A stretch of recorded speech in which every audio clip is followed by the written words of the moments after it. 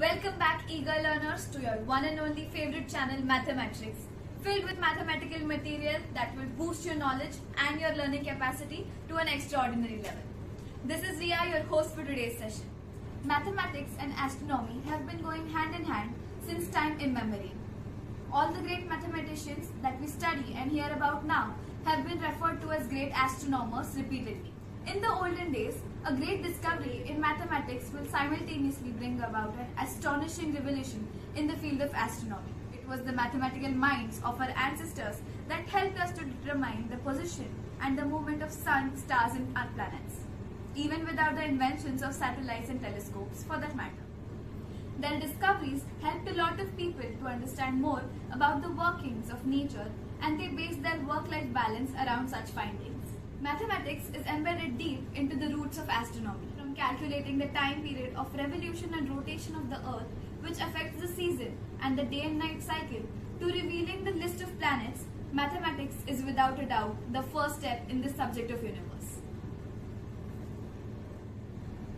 So let us see how our ancestors came about using mathematics in astronomy and the true contribution of maths in the subject of planets. In his book Aryabhatiya, Aryabhatta describes mathematics and astronomy covering spherical trigonometry, arithmetics, algebra and plane. Aryabhatta also calculated the length of the year almost exactly and figured out the fact that earth was rotating figure. In the era of Aryabhatta and earlier, people noticing that the position of the stars changed continuously believed that it was the sky that rotated. However, Aryabhatta correctly insisted that it was the earth that rotated around its axis and it was due to the rotation of the earth that the stars in the sky looked as if they were moving. The concept can be understood simply by taking the example of a moving train. While sitting inside a train, its motion is forward direct.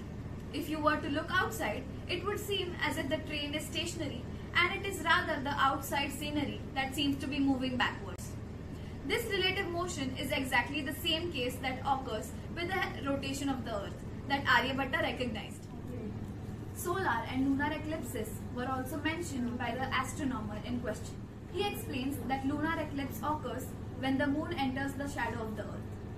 He also states that the size and extent of the earth's shadow and then provides a computation and the size of the eclipsed part during an eclipse.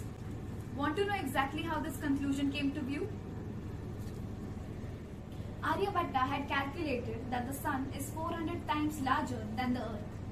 He also discovered that when the sun, moon and the earth are in the same line, the angles of the sun's light will only reach x and y axis of the earth and greater rather than shining on the surface of the earth. Aryabhatta applied plane trigonometry to spherical geometry by projecting lines and points on the surface of a sphere.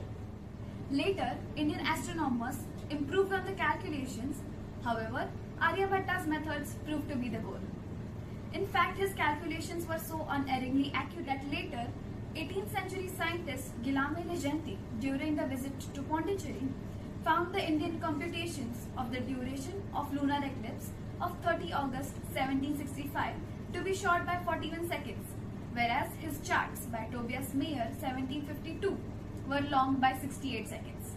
Astronomers and mathematicians of this country go back to the earliest of times.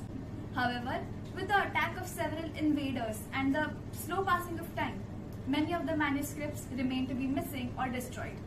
Varaha Mihira, who was a mathematician come astronomer himself, has given us the gift of the old books in the form of Panchasiddhantika. This work is a treatise of mathematical astronomy and it summarizes the work of five early astronomers Surya Siddhanta, Romaka Siddhanta, Paulissa Siddhanta, Vashishta Siddhanta and Pitamaha Siddhanta. The Surya Siddhanta describes rules to calculate the motion of the planets and the moon relative to the various constellations, diameters of various planets and also calculates the orbits of various astronomical bodies. The text also calculates the Earth's diameter to be 8000 miles. The now known diameter is 7928 miles. The diameter of the moon is said to be around 2400 miles. With the advancement of technology, we know it to be 2160 miles. Amazing how close the great scholars were to the estimations that we now know. Considering the fact that there were very limited resources to know anything about such celestial phenomena.